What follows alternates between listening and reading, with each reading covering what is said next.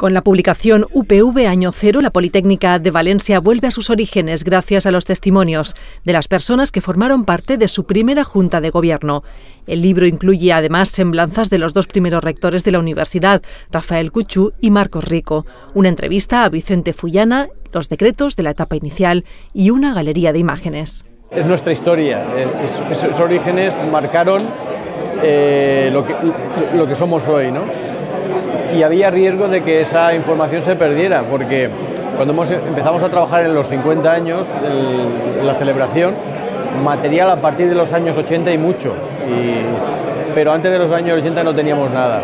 Y tuvimos que llamar a personas que estuvieron en aquellos inicios de la universidad y gracias a su trabajo y buen hacer hemos podido reconstruir cómo fueron los primeros años. UPV Año Cero, un recorrido por sus orígenes 1968-1977, ha sido coordinado por Fernando Romero Saura y Carlos Gracia López.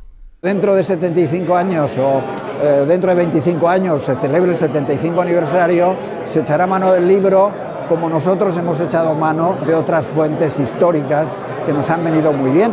Pero eso ya queda en las bibliotecas y es un legado que hemos confeccionado con muchísima satisfacción y con muchísimo agradecimiento por haber participado en aquel proyecto tan importante y tan sugestivo.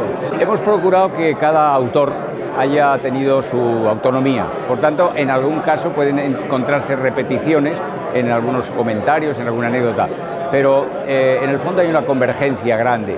Todos encontramos que el comienzo de nuestra universidad fue casi, casi, un, casi un milagro, es decir, en el sentido de que no se veían los mimbres necesarios para empezar a hacer lo que se ha hecho.